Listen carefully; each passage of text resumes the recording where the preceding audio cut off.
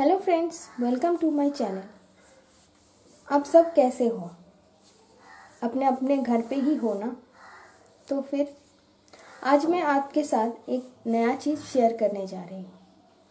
बहुत दिनों से जूही मिठाई खाना है, मिठाई खाना है, मिष्टी मिष्टी, ऐसे बोल रही हैं। लेकिन हमने काफ़ी दिनों से बाहर का कुछ लाते भी नहीं हैं, कुछ भी खाना। और फिर, अभी तो सब कुछ बंद ही है। तो फिर मैंने सोचा कि आज थोड़ा सा दूध बचा हुआ है। तो सोचा कि उसको घर में ही थोड़ा सा उसकी तरह, उसके लिए थोड़ा सा ही होगा दो तीन पीस। थोड़ा मिठाई बना दो। तो फिर कुछ नया चीज़ शेयर बनाऊँ और आपके साथ शेयर ना करूँ, ऐसा तो कभी हो नहीं सकता। तो फिर हम बहुत ही बेसिक इंग्रेडिएंट्स जो घर पे होगा ही आपके पास। तो फिर उस चीज़ से हम कैसे मिठाई बनाते हैं तो फिर उसको आप अभी देख लीजिए। तो फिर आप, अगर आपके घर में बच्चे हैं या फिर आपको भी थोड़ा सा मिठाई खाने का मन किया तो फिर आप बना सकते हैं बहुत ही ईजीली बहुत ही बेसिक कुछ इंग्रेडिएंट्स के साथ। तो चलिए देखते हैं कैसे आप घर पे बहुत इजीली मिठाई बना सकते हैं। जैसे कि आप देख रहे हो, इसमें थोड़ा सा नींबू डाल के दूध को मैंने काट लिया मतलब फाट दिया। आप इसमें थोड़ा सा विनेगर भी डाल सकते हैं या फिर वो छेना काटने का जो पाउडर होता है, उससे भी आप कर सकते हैं।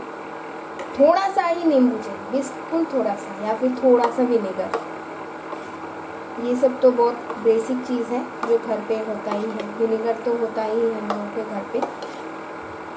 ये जैसे ऐसे करके मैंने काट लिया।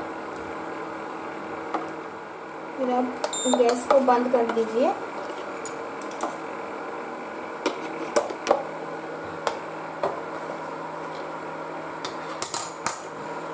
फिर हम इसको एक छलनी की मदद से छान के छेना को अलग कर लेंगे।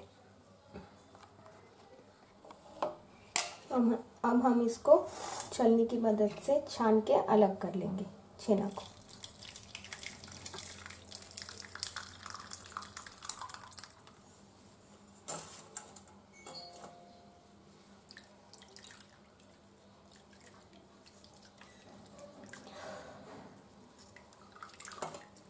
ये जो पानी है ना, इसको आप आटा गूंदने के काम में भी लगा सकते हैं।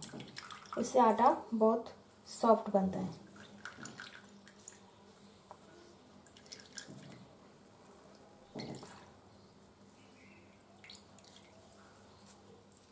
अब हम इसको कटोरी में डाल देंगे। थोड़ा सा चना तो बॉल बॉल जैसा बन गया है. अब हम इसको, अब हम इसके साथ थोड़ा सा शुगर पाउडर शुगर पाउडर क्या है? आप चीनी को जस्ट ऐसे मिक्सी में मिक्स पीस लीजिए. बस हो गया शुगर पाउडर और मिल्क पाउडर या फिर चॉकलेट पाउडर मेरे पास मिल्क पाउडर नहीं है. पर थोड़ा सा चॉकलेट पाउडर है। तो फिर इस चॉकलेट पाउडर से मैं बनाऊँगी। मिल्क पाउडर नहीं है। मिल्क पाउडर तो किसी के घर पे और थोड़ा सा घी या फिर थोड़ा सा रिफाइंड ऑयल तो ये सब चीज़ तो बहुत ही बेसिक है। ये तो घर पे रहता ही है। तो चलो हम इसको बनाते हैं। कढ़ाई को हल्का सा गर्म करके फिर इसको एकदम लो फ्लेम में कर लेना। फिर हम इसको ये जो छेना निकला है इसको कढ़ाई में दे देंगे।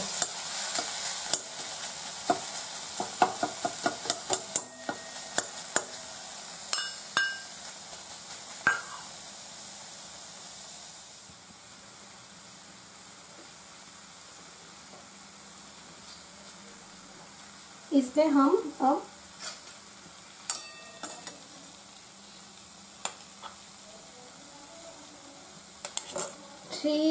टेबल स्पून शुगर पाउडर डालेंगे वो आपके अंदाज़ा से मीठा, आपके अंदाज़े से ही डालना। इसके बाद हम one spoon one tablespoon choco powder डालेंगे। फिर इसको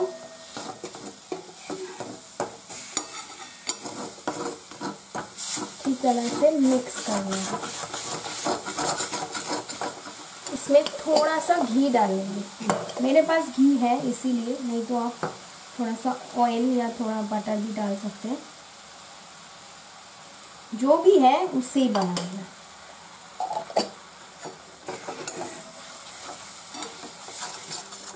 जैसे कि आप देख पा रहे हो कि ये ऑलमोस्ट बन गया है और कढ़ाई से सब कुछ सेपरेट हो गया, एकदम, ये एकदम थिक हो गया है।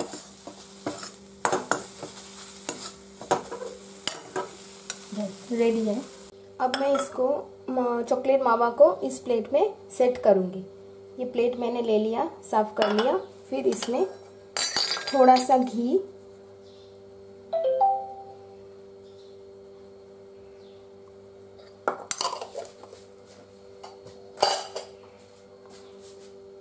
बिल्कुल ही थोड़ा सा घी लेके इसको ग्रीस कर लेना।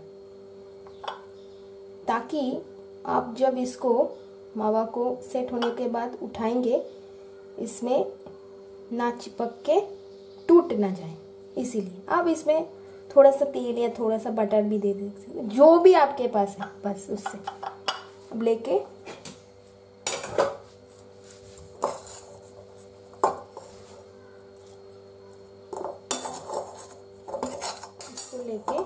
अब इसको इस तरह।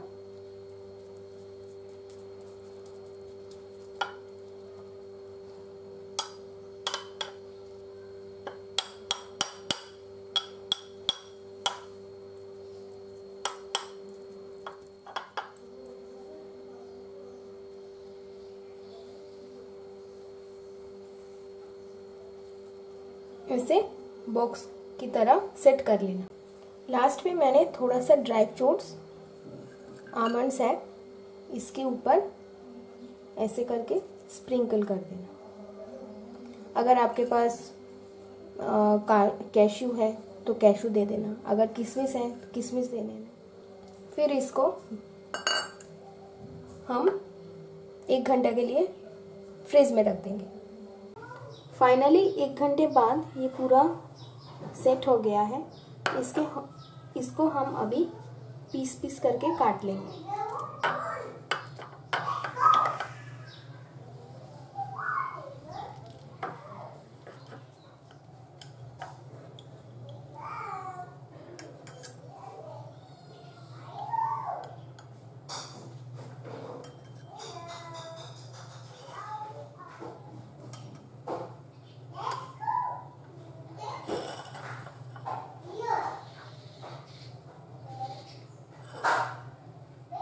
हमारा चॉकलेट मावा बर्फ़ी इज़ रेडी